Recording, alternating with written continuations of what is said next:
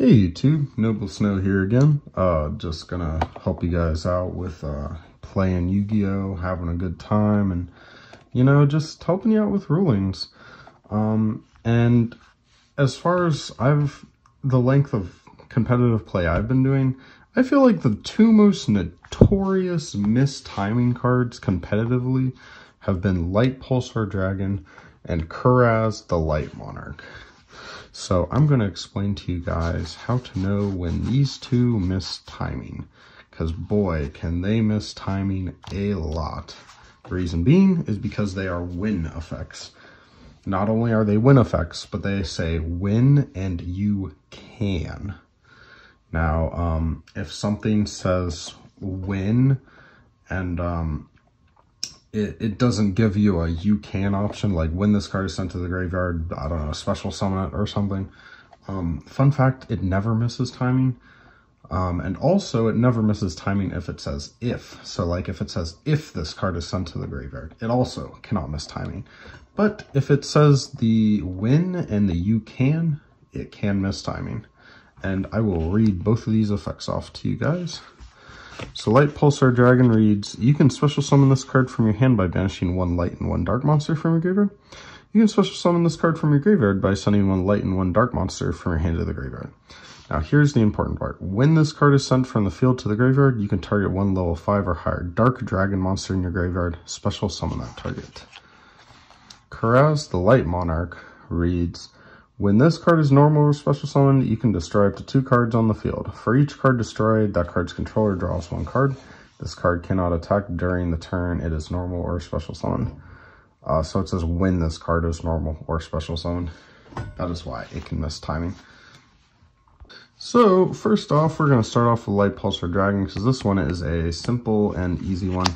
Let's say we got Lightpulsar Dragon and we tribute set it for uh, Kuraz or just any monster, um, you would think like Pulsar would get its effect to special summon a Red Eyes Darkness Metal Dragon or some other target you may have in your graveyard. But fun fact, it does not.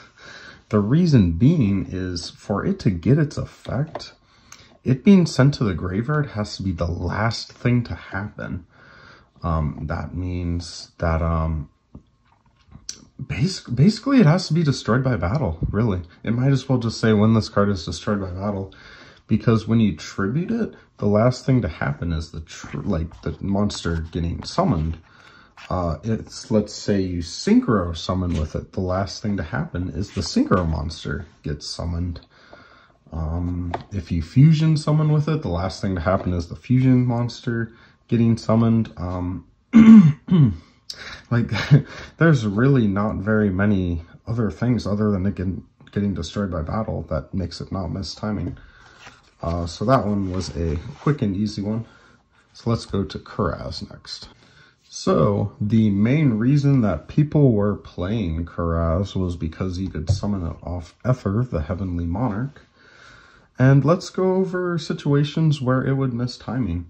Basically, its summon has to be the final thing to happen. So if there's anything in a chain link higher than it, it will not happen.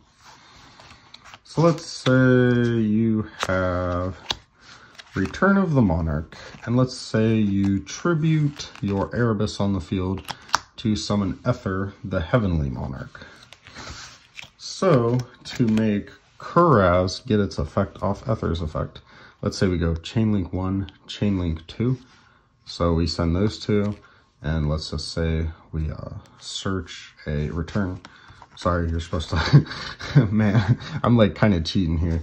Sorry, you're supposed to search, and then this resolves sending those two, and then special summon Kuraz.